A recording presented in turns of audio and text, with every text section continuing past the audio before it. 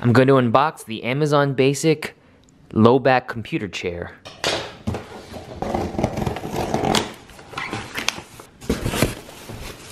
Some assembly required. Oh, Amazon Basics. Amazon Basics low back computer chair. Cushion, blah blah blah blah blah blah blah blah. Let's put this together. The mesh backing. I bet I can figure this out without reading the instructions.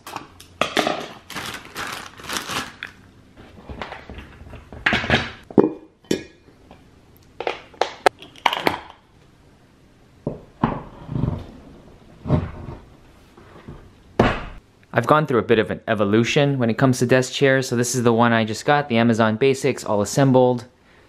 And it's really nice, very light, and it was also cheap. I got this on a Black Friday deal. I think this was $35. Not bad for $35. Not good, but not bad for $35. I like this mesh seat, uh, the mesh backing and then the seat. It'll probably break within maybe three years if I'm gentle with it. My other chair was this chair, which wasn't that expensive either. This was un under $200. But I got this years ago, and I still use it as my main chair. The cushion is still excellent, a bit dusty, but I, have been using this as my main work computer chair, and this is my favorite uh, chair. I, I, when I was working in an office, my company I was working for uh, uh, was able to afford those very expensive Aero. I forgot the brand. I think it's like Aero something chairs, those office chairs that are upwards to seven to eight hundred dollars per chair. And you know, having had this for a while and then using those Aero chairs, I guess there was a difference. Some some people could tell the difference. I could not tell the difference. So this chair, perfectly fine.